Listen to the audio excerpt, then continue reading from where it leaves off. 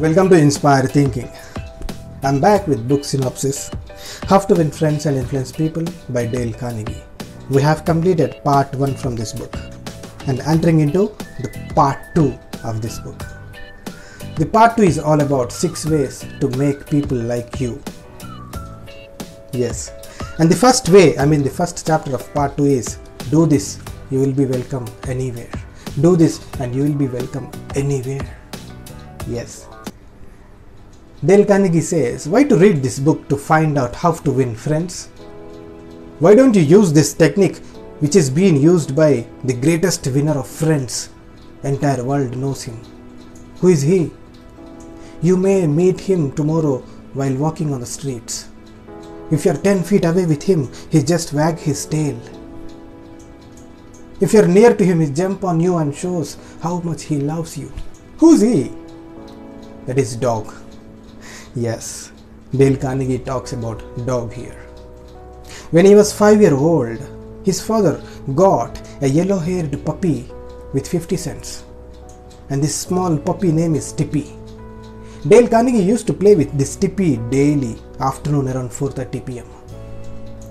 Dale Carnegie has a best wonderful companion with this Tippy for 5 years.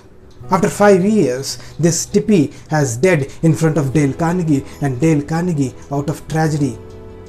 He just lost himself and this is the biggest tragedy in his childhood, I would say in his boyhood. Dale Carnegie used to tell these people that dog never read books.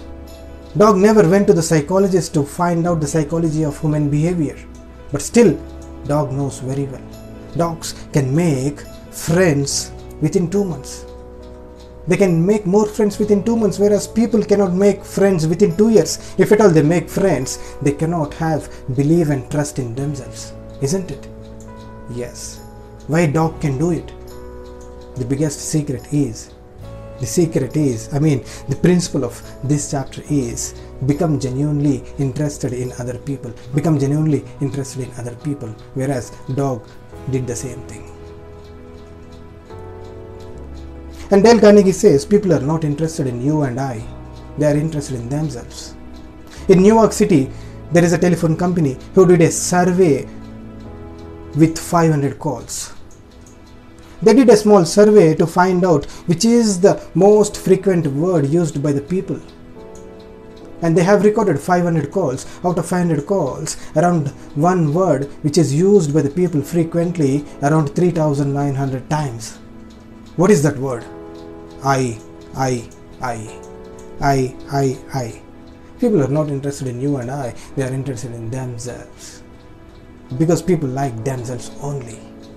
They want to listen about themselves only.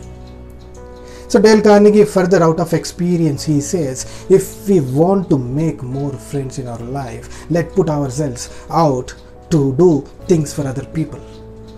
The things require time, energy and selfishness. And Dale Carnegie has worked years to find out the birthdays of his friends. He used to meet people, whenever he used to meet people, he used to ask one question Do you really believe date of birth has something, has anything to do with the character? And people used to give a reply yes or no. Immediately he used to ask, What is your date of birth? And for example, if they say it's 24 November, he used to murmur 24 November, 24th November, 24 November. He used to write on a small chit. Once he goes away, he used to write on a small chit and put in the pocket. Once he goes back to his home, he used to transfer this 24 November date of birth date to his birthday calendar, his birthday book. And every month, beginning of the month, he used to know how many birthdays this month. He used to write in his diary and he used to send telegrams to his friends. And this is a big hit to Dale Carnegie in those days. And people are used to think Dale Carnegie is only one person on the earth who knows, who remembers each and everyone's date of birth.